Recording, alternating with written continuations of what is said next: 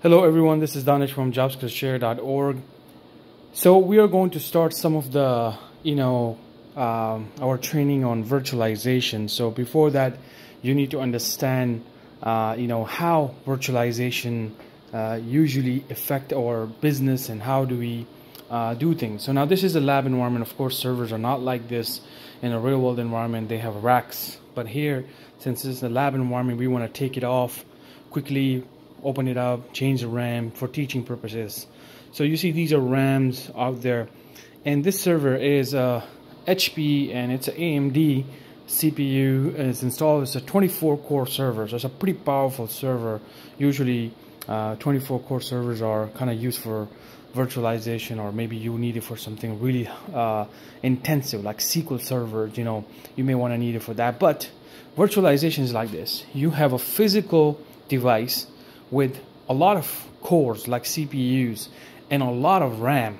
And what you do is you install it and then you can virtualize two ways. One is specifically it's like a hypervisor. It's a special operating system.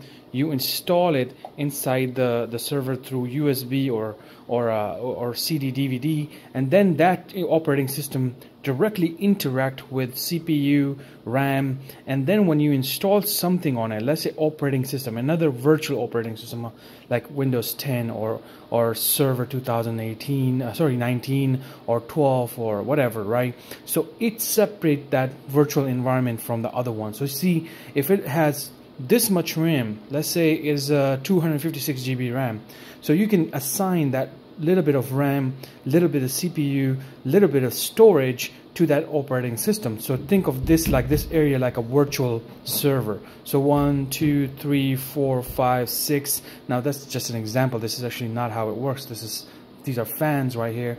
But for this to understand, you need to actually watch things, but you also need to understand where the virtualizations are coming from. Usually it's a hardware, it's one server like this, or it could be multiple servers. Then multiple servers are managed by one portal. So usually that is kind of the main purpose because now you have all of these servers with so much RAM and so much space and everything. And if one virtual machine goes down here, automatically it will move up to the second server, third server, fourth server.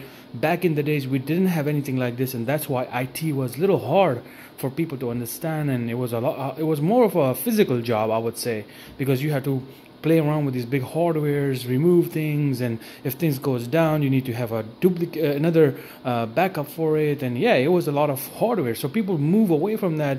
They came with these nice, cool technologies like virtualization. VMware is the top one. Then um, Microsoft. There are Citrix. Uh, you know, uh, other ones like open source like uh, Proxmox. Um, Virtue, something like that.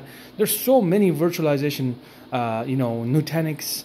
There's so many out there that you can install and then you can use it. But since we're training ourselves for help desk positions, the only thing that they require is that do you know what is host? Host is a hardware right here. Do you know how to install a virtual um, uh, machine on this hardware? Can you manage it? Can you take a snapshot of it? If I tell you I'm a uh, a sysadmin and I need your help with to get into the VMware and turn on that machine, can you do that? These are something that now companies are looking for for the help desk position. So this is our part one project where I am going to basically uh, show you guys how we can convert this server into a, a monster like a virtual, uh, you know, we can put a lot of virtual machines on there. So this server, specifically, we're going to use a Windows operating system. So we, I'm going to teach you two things. First one, this is a host. I'm going to put a, a Windows operating system on it, server 2012 R2. We're going to install the whole operating system on this whole uh, host. So it's then inside that operating system, we're going to use Hyper-V option, which is now inside the operating system. So that's one type of uh, virtualization. Another type would be me installing, I'm going to get another server and I'm going to install VMware meaning I'm going to install in a, a, hypervisor type of operating system on it now, and then that will do the virtualization. I will show you two methods, and that way you will have a very clear idea of how virtualizations are being utilized. Usually in a companies, people use pick one and they don't use two together but there are scenarios where one may not have a feature so they will install like Hyper-V on the operating system and then they will have something like VMware which that machine is running a VMware as you can see. So we're going to do that in on these all these servers. Again this is a project so it's going to be rough type i'm going to be like moving around things here and there. It may get boring at some point so you gotta uh, you know be patient with this. And if you have any question make sure you put comments and let us know what you think. And after this you're going to get access to the vmware environment uh, online when we do the training. Because now you don't need to know about the physical part. Physical part is done is done once and usually these are the people like sysadmins network engineers or virtual uh, you know vmware system administrators of if they hired people specifically for that they're going to be taking care of this whole changing things and everything cpu and all that. That's a little advanced stuff. So then you need to just manage the virtual machine part where they're going to give you access through the web browser give you the username and password which we're going to do and you're going to just do that part. You don't need to stress too much about it because if you really want to get into it then later on you can decide if you want to become a, a VMware system administrator or you want to get into this this career virtual side of the career uh, you know and then you want to be you know uh, going towards that route.